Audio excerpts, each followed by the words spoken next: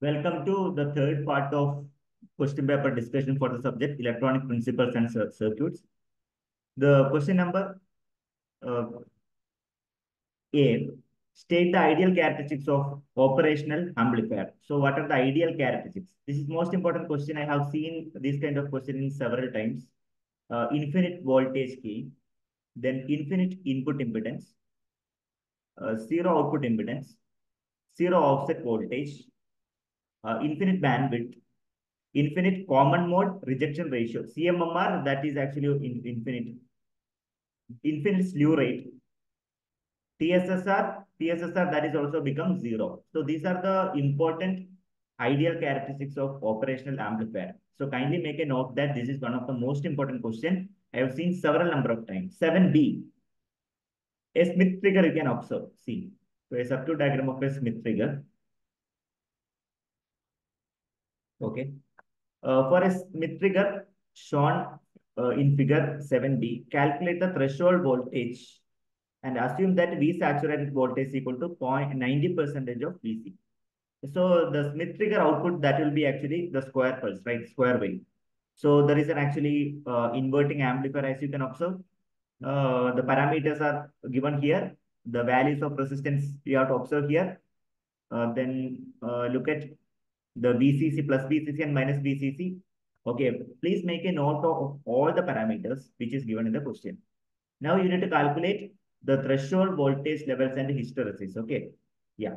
So now how to answer this? First of all, what you can do is uh, write down the given data.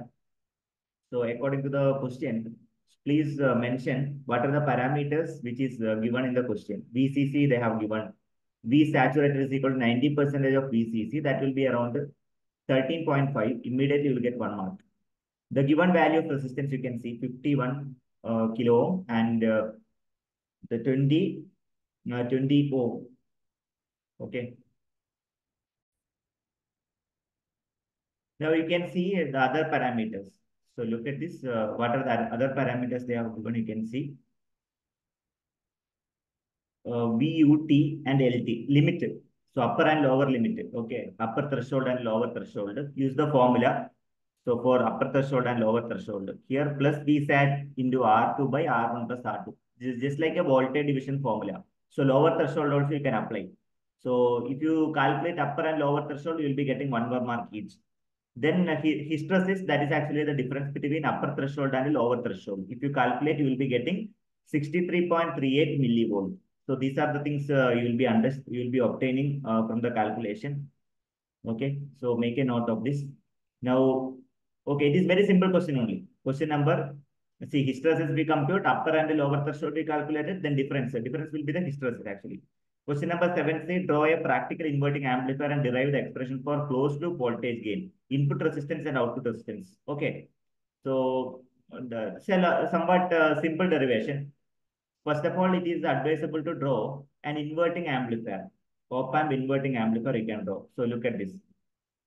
Here we can see the R of feedback resistance. R1 is the input resistance. We are giving the supply. Supply is giving uh, supply is provided to inverting terminal. So non-inverting terminal you can keep blank. Okay, we are not giving any uh, supply. So RL is the load. Okay. So now you can uh, like you can uh, use KVL, you can use KCL, you can uh, you can mention the KVL and KCL. Using the KVL and KCL, you can proceed with that.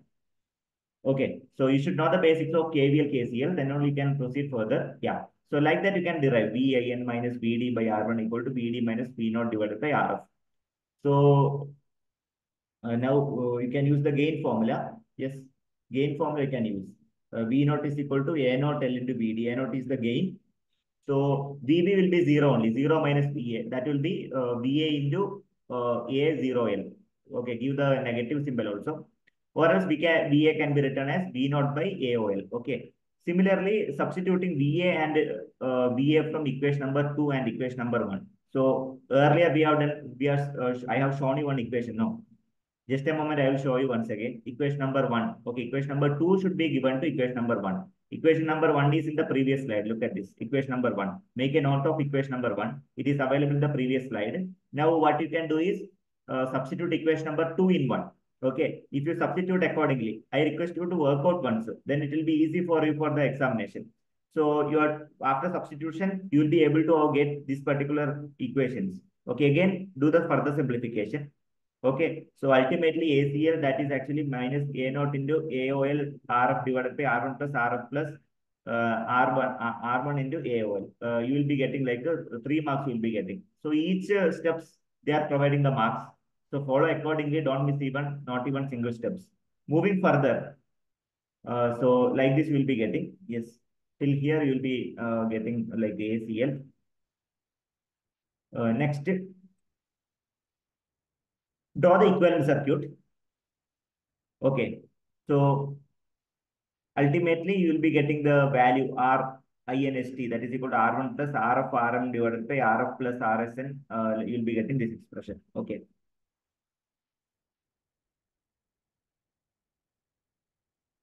Okay, so continuing, uh, the, so apply certain conditions. Okay, like this, you can apply certain conditions. So keep uh, like uh, proceed further.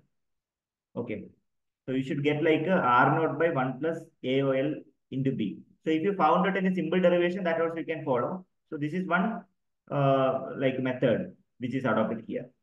Question number 7C, uh, that is completed. See, draw the practical inverting amplifier, derive the expression for closed loop voltage gain. Okay, closed loop voltage gain means output to voltage by input to voltage. How much you will be getting? So like this will be getting. Look at this. V naught by I naught equal to R naught by 1 plus A, A0L uh, into B. Okay. So this is ultimate expression for a like inverting amplifier. Question number 8A. Draw the circuit of three op-amp instrumentation amplifier, derive the expression for output voltage. Question number 8A. So we have to draw the circuit diagram.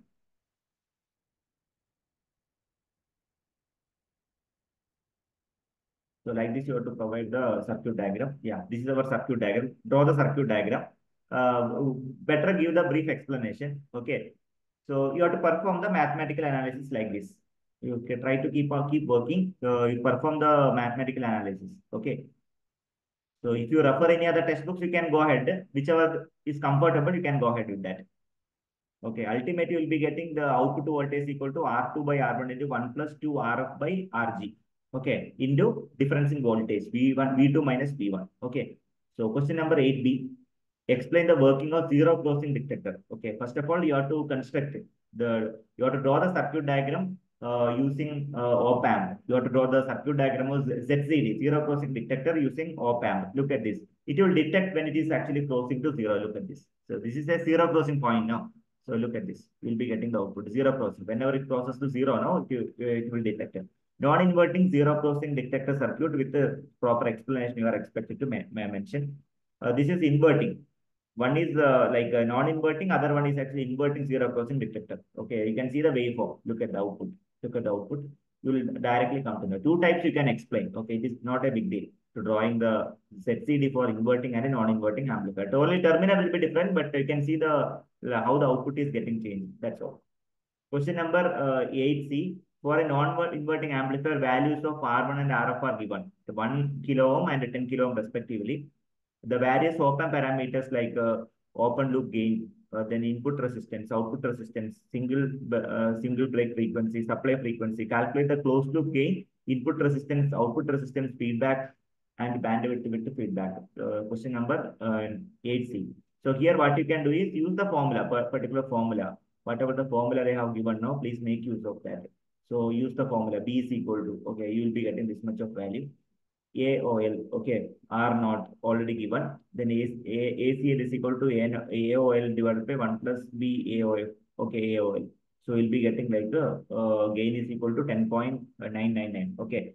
Similarly, R uh, infinity is equal to RM into 1 plus, use the standard formula. Definitely you will be getting this particular value, giga ohm, this much of giga ohm uh, ROF that is equal to R naught by 1 plus AOLB will be getting a 4.12 into 10 to the power uh, minus 3. Okay.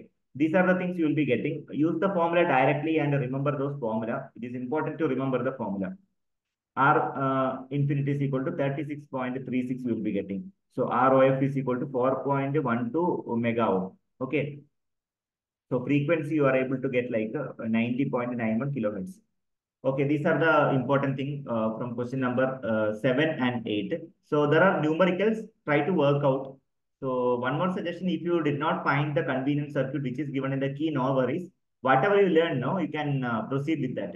You might have practiced uh, based uh, different different type of circuit, but here uh, like uh, the standard one which is taken from a standard textbook.